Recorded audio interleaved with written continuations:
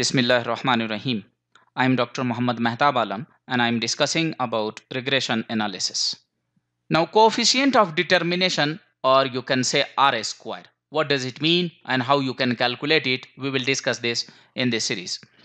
The coefficient of determination is the portion of the total variation in the dependent variable that is explained by variation in the independent variable.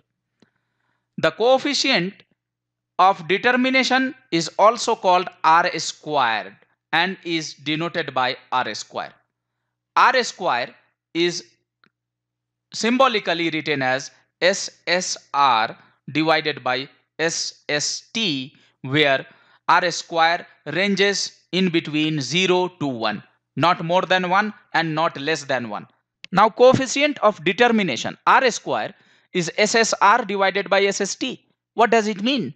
It means sum of square explained by regression divided by total sum of squares. In the single independent variable case, the coefficient of determination is you can say r square is equal to r square. Small is equal to capital when you have only one variable, one independent variable. Where r square coefficient of determination and small r simple correlation coefficient. Example of approximate R square values. If R square is 1, perfect linear relationship between X and Y. And if R square is 1 and it goes toward upward, you can say 100% of the variation in Y is explained by variation in X. So this is the just two example uh, through the you can say scatter diagram.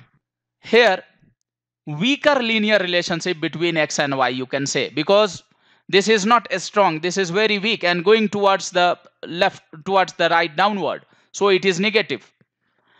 Some but not all of the variation in y is explained by variation in x. It shows